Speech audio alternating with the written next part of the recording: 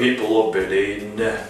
You are looking at a person who is in the quest for uh, WG, the ever elusive uh, Wohnungsgemeinschaft. I don't really have a house right now. Oh, this is my house, but I need to leave this place by the end of November, which means from the start of December, I might be a homeless person. I do have long hair and I can fit the criteria for a homeless person, but it would be very nice to have a house. But either way, so as you can see, I have a lot of energy. I can dance. I don't know any particular kind of dance, but I can dance. I can entertain my roommates. I can cook well.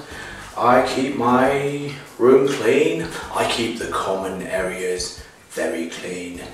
And I can speak of German. Ich spreche ein bisschen Deutsch. Ich verstehe Deutsch. Deutsch ist zu einfach, man. Läuft.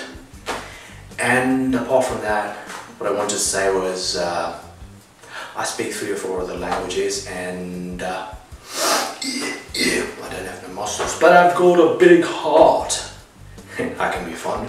I drink socially, I eat mostly vegan, but I don't have any problem with whatever you're doing. And apart from that, I'm not going to be bringing many things with me. I just have my computer and I've got a few clothes and I don't have much.